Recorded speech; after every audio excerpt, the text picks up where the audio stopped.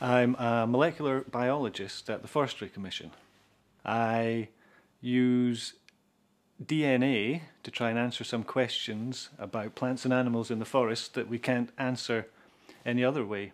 For example, you can tell a lot about a tree or an animal just by looking at it, how big it is, an animal, how fast it runs. But when it comes to questions about relationships between plants, uh, gene flow between plants, perhaps migration routes over, over long periods of time, then we have to use a molecule called DNA, and that's what I use all this fancy equipment in here to do.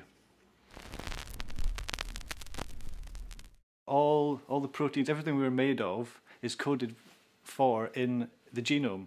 So trees have a genome that makes them grow their leaves the shape they are, makes them grow the height they are.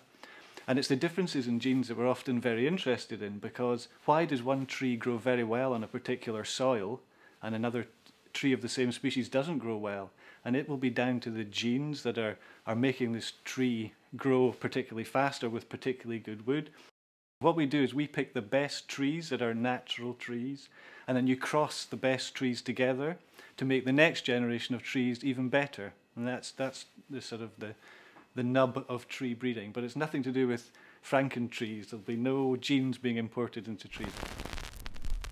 I was definitely inspired by my biology teacher. He gave us, the young folk, respect. He allowed you to speak your mind whilst not being outrageous. And, and he just made the, the subject exciting. And that, and that was when I really thought, right, biology, how animals and plants work, this is something I, you know, would actually want to study further. It's these little things that make a huge difference in where you end up. Because I'm, you know, I'm pretty sure without that particular teacher, I probably wouldn't be doing this now.